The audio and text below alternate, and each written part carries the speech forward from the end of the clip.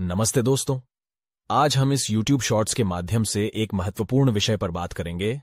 भय भय हम सभी के जीवन में एक महत्वपूर्ण अनुभव है। यह हमारी उन चीज़ों से जुड़ा हुआ है जिनसे हम डरते हैं, चाहे वह अज्ञात डर हो या हमारी मनोभूत भय से जुड़ा हो। भय हमारी ज़िंदगी के रास्ते में एक पथ प्रदर्शक है।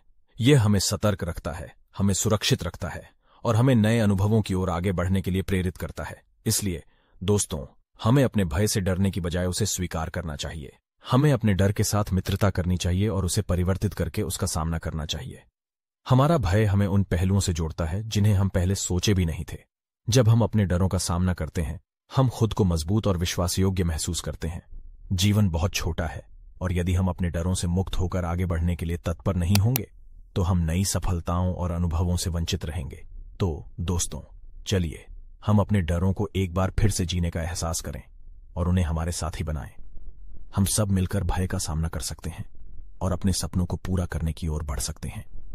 धन्यवाद दोस्तों इस YouTube शॉर्ट्स को देखने के लिए। अगर आपको यह वीडियो पसंद आया हो तो इसे लाइक और शेयर ज़रूर करें। हमारे चैनल को सब्सक्राइब करना न भूलें, ताकि आप हमारे आने वाले वीडियो से अवगत रहें। फिर मिलते हैं अगले वीडियो में।